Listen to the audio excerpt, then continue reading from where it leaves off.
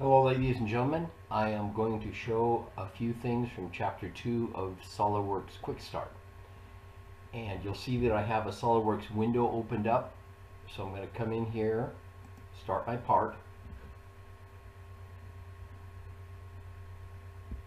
And then the first thing I'm going to do is I need to check my document properties to make sure that I have, I'm on ANSI standard and it's on ISO so we're going to change it.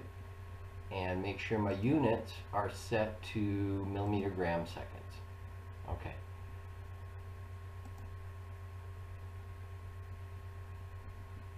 Okay so we got that part done. I want to view my origins first. I want to set it so I view origins. So view origins. I'm going rather fast because I um, I, you can use the pause button. Okay, sketch. I want to make a sketch. I want to put it on the front plane. And I'm going to draw a center point circle. Now, here's a trick. If I'm horizontal with the center point, I'll get that dotted blue line. And I'll also get a horizontal line to the lower right of my um, mount, my pointer. This makes a vertical. I'll put the point vertical with the origin if I do it like this. Again, I'll get a vertical line. It goes away. The vertical line appears when you're vertical with the origin. And to the lower right of my pointer, a vertical line appears and the dotted lines appear up to the origin. Now to place a point right on the origin, which is what I want to do, I move my pointer up to where the origin turns orange. And then I have a little yellow T to the lower right of my pointer, which indicates a relationship, that it's a coincident relationship. That's exactly where I want it.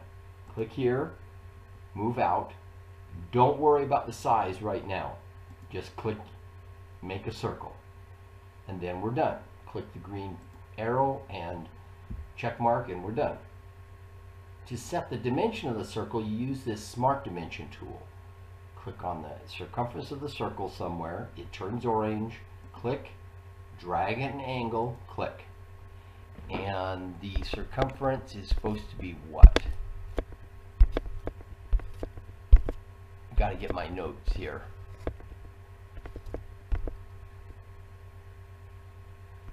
Twenty millimeters. Oops. Got to make sure I'm in my data entry box. Twenty millimeters. And it'll click down to 20 millimeters. Uh, I'm done with the dimension tool. Now I can extrude it.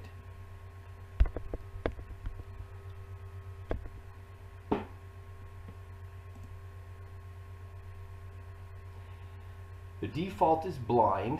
It just goes one way and along this arrow direction. You can grab the arrow and change it, by the way, which I just did. We don't want blind, though. We want midpoint that means it goes both directions. There's other options too. You'll see, you see in this drop down menu. Mid plane is what we want. And it is, again, I believe it's 20 millimeters. Yes, it is. Okay. And we're done. We see the feature tree now.